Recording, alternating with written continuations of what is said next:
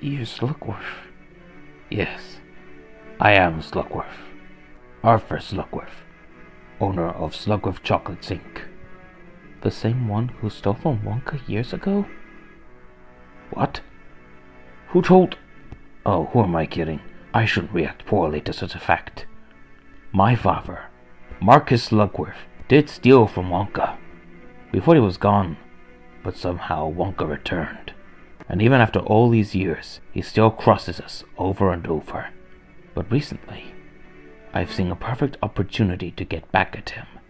I want you to listen carefully. Wonka is currently developing an incredible candy, the everlasting gobstopper. If it succeeds, he'll bankrupt me, which is why I need your help. You must get just a single gobstopper and bring it to me so that I can figure out its secret formula.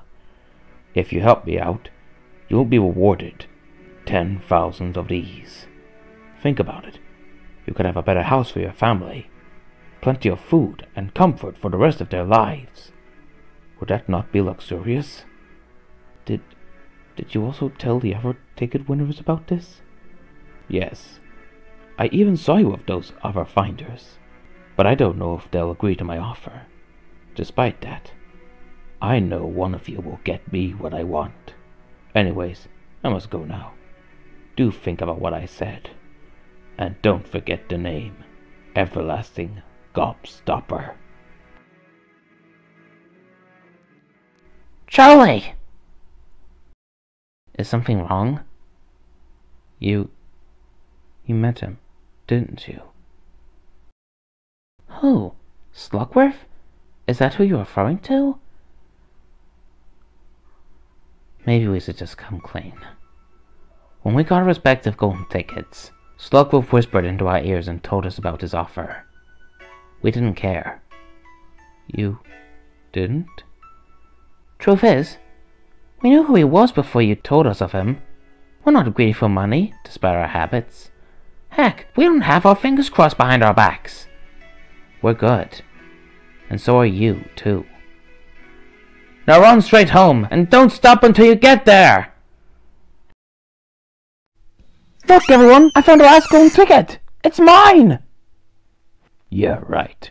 You can't be serious. Glory be! How did you find a golden ticket? I found some money in the street, bought a Wonka bar, and a ticket was in it.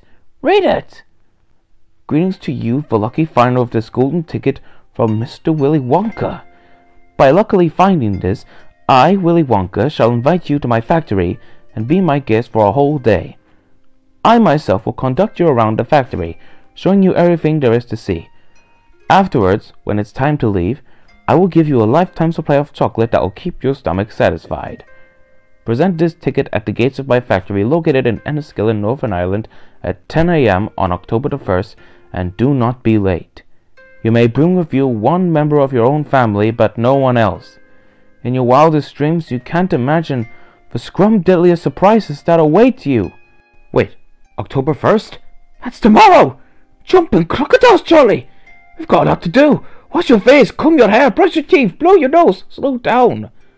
Charlie, it says you can take someone along with you. I wish one of my grandparents would go.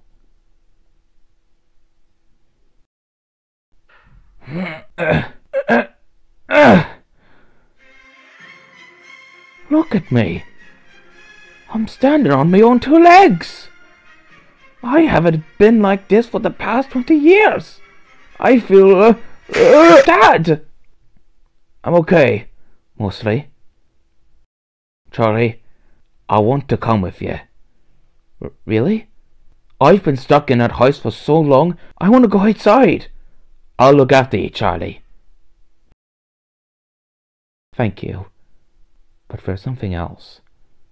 On my way home today, I ran into Mr. Slugworth.